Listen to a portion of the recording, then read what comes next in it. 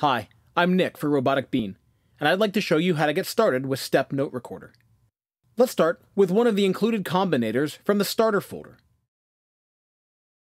We've included patches for each of the Reason devices with step pre-routed.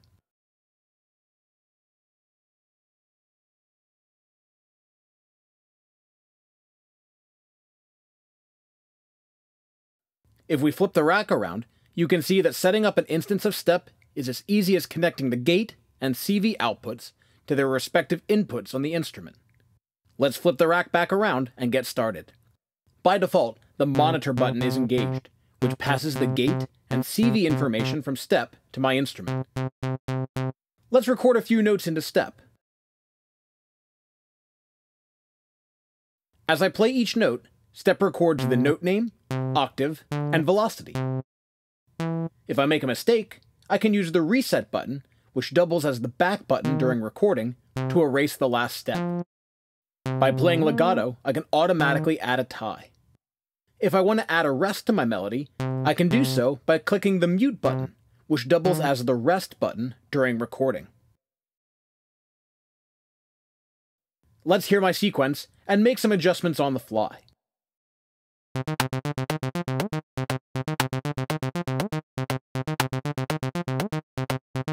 I can change the resolution of the steps from as long as a half note to as short as a 128th note. As I change the resolution, the grid updates to show the natural groupings and subdivisions.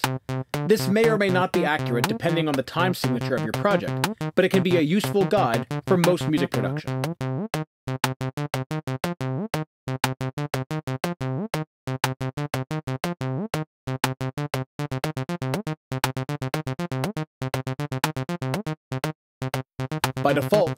Length of each gate is set to 50% of the resolution. I can adjust the gate length by changing the width knob. Note that even at 100%, there is still a tiny pause between notes, but I can use the tie function to connect two notes completely. Likewise, at 0%, the notes in the sequence will still play, but I can add a rest to mute a step completely.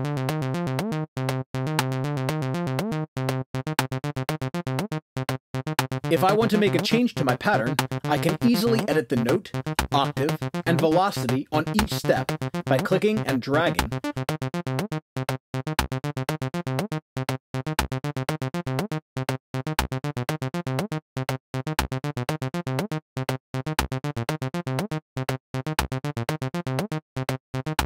Or by drawing in the desired velocity.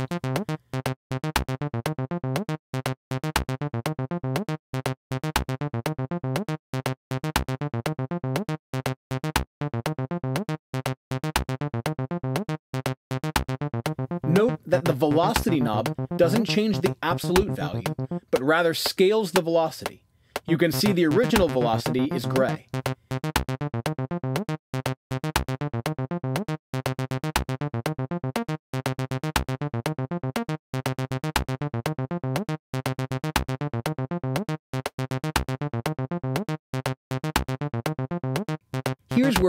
Really mm-hmm. creative with our melody. I can change where I start in the sequence by shifting my melody left or right using the offset buttons.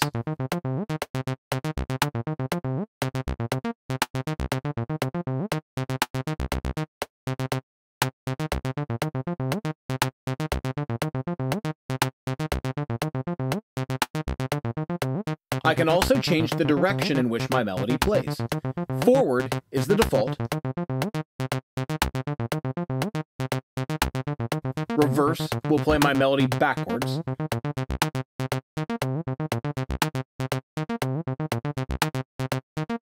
Alternate will play forwards and then backwards, repeating the first and last step. Pendulum will play forward, then backwards, without repeating the first and last step.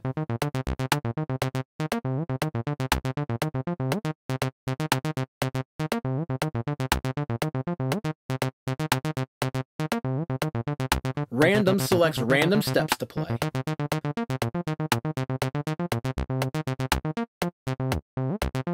Brownian generates a Brownian motion, with 50% chance of going forward, 25% chance of going back, and 25% chance of repeating the same note. Reorder shuffles the sequence randomly and plays every note before shuffling the sequence again.